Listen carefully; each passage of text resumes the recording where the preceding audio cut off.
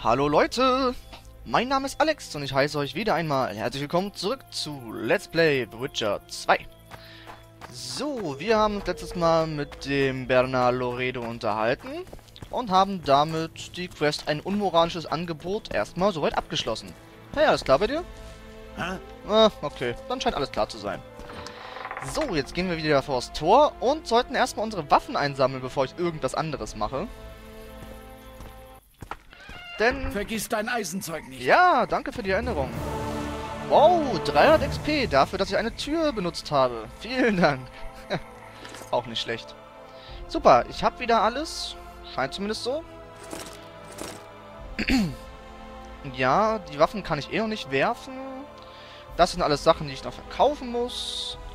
Und was wollte ich noch machen? Genau, äh, die Bomben und Fallen und hast du nicht gesehen. Vor allem die Bomben. Samum lähmt immobilisiert alle im Wirkungsradius. Und das war dann die im Feuer. Genau.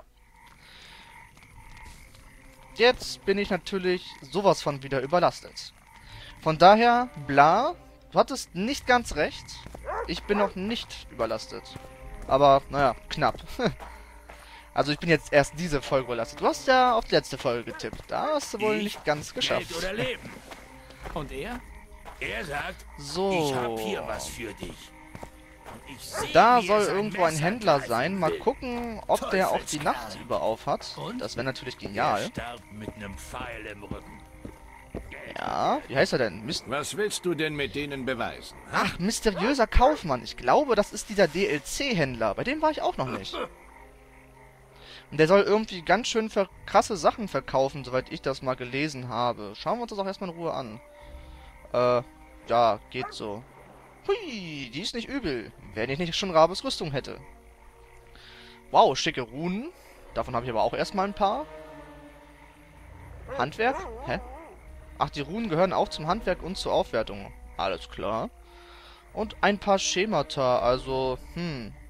Ich denke mal, sein Angebot ändert sich noch mit der Zeit. Aber es kann mir egal sein, ich muss erstmal einige Dinger verkaufen. Ach, ich verkaufe erstmal hier diese ganzen Wurfmesser.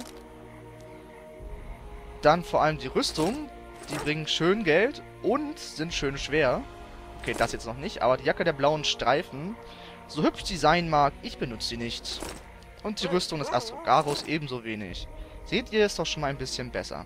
Und ich glaube, ich sollte mir so langsam mal überlegen, äh, mal ein paar Runen zu benutzen. Oder generell auch mal Öle. Aber ich muss ja erstmal wieder nach draußen gehen, in den Wald, um mal wieder ein paar Kämpfe zu beginnen. Bücher. dö, dö. Nein, nein. Nein, nein. Davon will ich nichts mehr verkaufen. Alles klar. Okay. Was mache ich denn jetzt so als erstes? Die ganzen Quests sind schon abgeschlossen. Holla die Waldfee, sind doch ganz schön viele. Kriegt man das gar nicht so mit. Das zum Beispiel, eine Frage des Preises, habe ich eigentlich schon abgeschlossen. Und deswegen hat es auch keine Questmarkierung auf der Karte. Aber die ist halt abgeschlossen, sobald ich mein, meine Belohnung von diesen Kaufleuten dann abgeholt habe, denke ich mal. Königsmörder ist wieder was anderes. Hm. Wir sehen uns wieder, war die letzte Meldung von denen. Tja, logischerweise auch nichts auf der Karte. Probleme mit dem Troll. Wo ist das eigentlich? Das möchte ich mal gerne wissen. Ah, so weit ist das ja gar nicht. Ansonsten, wenn ich mich nicht ganz täusche, war das mit dem Kairan? Oder... Ich sollte doch... Hol eine Probe vom Kairan-Gift aus dem Lager, genau. Da sollte ich doch dahin. Und genau.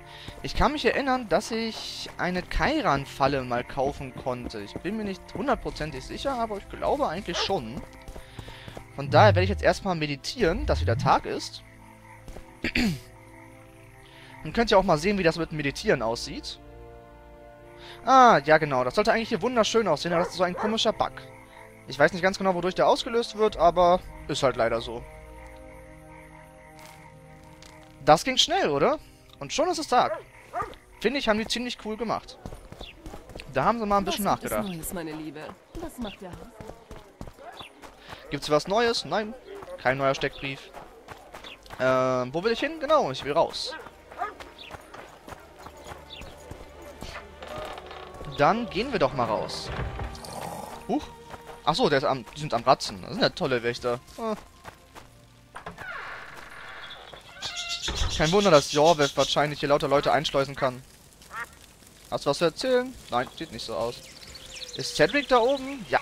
Weil ich glaube, von ihm konnte ich diese Falle kaufen, die ich eben erwähnte.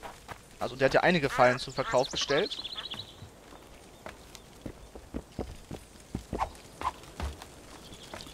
Und danach begeben wir uns endlich mal ein wenig in den Wald. Ja, mal so ein bisschen umschauen. Schauen noch erstmal. Schemas. Talgarscher Winter habe ich schon. Gift der Henken, Drachentraum, das sind alles keine Harpienfalle. Okay. Mehr waren das gar nicht. Hm. Aber ich erinnere mich, es gab ja noch diesen anderen Kerl da unten in seiner Hütte hinten. Von dem konnte ich mir doch ebenso Fallen kaufen. Also wackeln wir mit unserem schönen Hartzopf mal wieder dahin. Ach, jetzt habe ich euch ganz vergessen. Von Patch 1.2 kann man gibt jetzt auch Friseure. Ja, ihr habt richtig gehört, es gibt Friseure. Und soweit ich es richtig gelesen habe, ich bin mir gerade nicht ganz sicher, ist der Einer Gausel, dieser zottlige Buchhändler, jetzt auch Friseur. Ich glaube, bei ihm gab es ja noch ein paar Fallen. Na? Darf ich scrollen? Danke, geht doch. Nee, irgendwie, ich dachte, ich hätte mal so eine Kairan-Falle irgendwo beim Händler gesehen. Äh, egal. Wird schon schief gehen. Ich habe auch so viele Rüstungsaufwertungen eigentlich mit mir rumschleppen. Kann das sein? Ich habe generell Aufwertung ohne Ende. Tja. Soll ich mal einfach so eine Rune benutzen? Ach, noch nicht. Gut. Hier sind ein paar Kinder unterwegs. Hier habe ich schon alles abgesucht. Und ich schaue mich erstmal ein bisschen weiter um. Gibt hier was zu abstauben? Sieht nicht so aus. Hier sind ein paar Fischer. Bitte? Ha. Ach ja? Ach ja? Kein sehr schöner Tag. Naja, bei deinem Job wundert es mich nicht, dass überhaupt ein Tag von dir schön sein sollte. Wohin so eilig? Tja, ich rette euer Dorf. Dahin bin ich so eilig. Ich denke mal nicht, dass du damit ein Problem hast. Wo geht's denn hier so lang? Ja, schau ich mir erstmal hier hinten ein bisschen um. Man findet doch immer ein paar Sachen, wenn man sich einfach nur ein wenig umschaut. Hier sind ganz gefährliche Büsche anscheinend, die Geralt, einem ausgebildeten Monstertöter, absolut den Weg versperren. Ja. Warum Büsche ihn aufhalten, das verstehe ich nicht so ganz. Hier, sind, hier ist ein schöner, großer Baum. Ich denke, davon werden wir noch mehr treffen in diesem Spiel. Tja, das... Toll. Toller Wachposten. Super. Naja, kann ich nicht ändern. Also gehen wir mal etwas tiefer in den Wald hinein. Hey, was ist denn hier los? Gibt's Ärger? So, du verrätst niemanden mehr, du Elfenschlampe. Ich habe keine Ahnung, wovon du sprichst. Dann wird Kommandant Loredo es dir erläutern. Ich greif mal ein. Dazu habt ihr kein Recht. Was ist hier los? Diese Schlampe spioniert für die Skoyatel. Habt ihr Beweise? Was geht's dich an? Immer langsam. Also, sie ist ständig bei der Garnison und umgarnt die Männer. Rodrigo meint, er hätte sie flachgelegt. Wer's glaubt? Hab ich aber. Und das sind eure Beweise? Zwei Soldaten werden vermisst. Beide wurden zuletzt mit ihr gesehen. Wir haben nur gesprochen. Sie gingen dann zu den Höhlen. Das ist alles, was ich weiß. Die Metze lügt. Sie hat sie doch in irgendeine Falle gelockt. Wieso untersucht ihr die Höhlen denn nicht? Na, da treibt sich so viel Dreckszeug rum. Ihr seid ja echt geniale Wachen. Aber ich mach das wohl. Dann übernehme ich das. Und ihr bezahlt mich dafür. Wartet am Kai auf mich. Ähm, sie haben zwar gar nicht einverstanden gesagt, aber ich denke, das heißt einverstanden. Geht zur Höhle unter Flotsam. Ah, Marlene. Wo ist denn die Höhle unter Flotsam? Bitteschön. Hä? Wo soll das denn bitte sein? Okay. Naja. Gehe ich mal später hin, wenn ich wieder in der Stadt bin. Aber ich will jetzt endlich... Oh, was gibt's denn hier jetzt noch zu finden? Schon wieder was auf der Karte. Ist das nur irgendein Händler? Schon wieder? Oh, wie viele Händler gibt's hier eigentlich? Das ist die Anfangsstadt. Da gibt's drei Milliarden Händler. Anetska. Mein Medaillon vibriert in deiner Nähe. Das tut es nur bei Gefahr und wenn Magie im Spiel ist. Vielleicht warnt es dich vor der Backpfeife, die du kriegst, wenn du mich anmachst. Tja, es geht mich wohl nichts an. Hör zu. Auch wenn die Leute reden, ich wäre eine Hexe, habe ich mit Magie nichts am Hut. Du siehst nicht aus wie jemand, der einen Zauber oder Fluch braucht. Dich treibt entweder die Abenteuerlust hierher, oder du bist ein Hexenjäger. In beiden Fällen. Ich habe weder vor, dich zu verraten, noch habe ich den Wunsch, dich nackt vor Veliopatis Altar tanzen zu sehen. Frechheit. Ich möchte Kräuter kaufen. Kräuter? Für den Eigenbedarf. Okay. die ist ja komisch drauf. Kennst du dich mit Schutzamuletten aus? Mhm. Wieso fragst du? Schau dir mal dieses Stück hier an. Ich habe den Verdacht, dass irgendwas damit nicht stimmt. Hm. Es ist zweifellos Magie in ihm. Ich kaufe es dir gerne ab. Sie weiß bestimmt mehr darüber. Ach ja, und es geht gerade um das Amulett aus der Quest Meliteles Herz. Wenn ihr noch wisst, der Kleine ganz am Anfang des Spiels, dem wir gesagt haben, nimm das Amulett lieber nicht und zieh dir eine Rüstung an. Dieses Amulett hat ja minus 10% Rüstung oder so gehabt, was natürlich ziemlich scheiße ist. Aber anscheinend weiß die mehr darüber. Warum liegt dir so viel daran? Ich sammle altes Zeug. Für andere ist es wertlos, für mich aber nicht. Ich glaube dir nicht. Du willst für ein Stück Metall zahlen, nur weil es alt ist? Ich bin dir keine Erklärung schuldig. Ich bin ein Hexer. Willst du einen solchen Kunden verlieren? Hm. Du hast mich überzeugt. Hey! Dann zur Sache. Das ist kein gewöhnliches Amulett.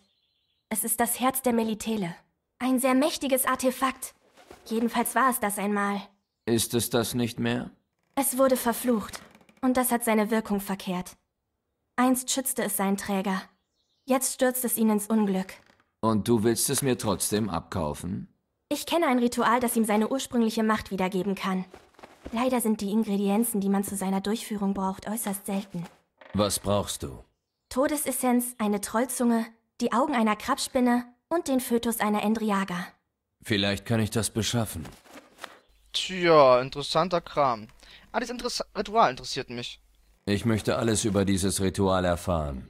Dann frag. Was braucht man zur Durchführung des Rituals? Todesessenz, eine Troll... Hatten wir schon. Sag mir was über das Herz der Melitele. Angeblich wurde das Amulett zur Zeit der Sphärenkonjunktion hergestellt. Seinem Träger verlieh es übermenschliche Fähigkeiten. Das gefiel nicht allen. Mit einer dunklen Kraft wurde das Amulett verflucht. Es büßte seine Macht ein. Okay. Kannst du dieses Ritual durchführen? Zuerst musst du alle Bestandteile beschaffen. Verstehe. Na, das kriege ich wohl hin.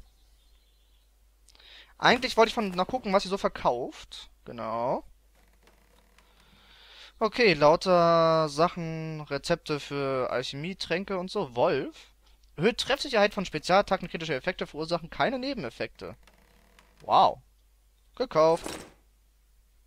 Klingt für mich ziemlich praktisch. Und ansonsten lauter Sachen aus dem Wald und von Monstern und so. okay. Was machst du da? Gar nichts. Dich nur beklauen. Veopatis?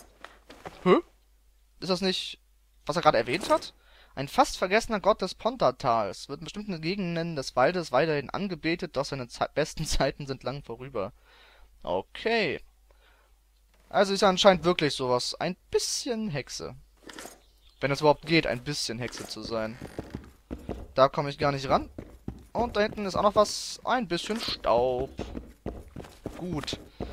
Ah, die Zeit ist schon fast wieder rum. Verdammt, ich komme gar nicht dazu, dieses Spiel richtig zu genießen. 15 Minuten sind immer so kurz.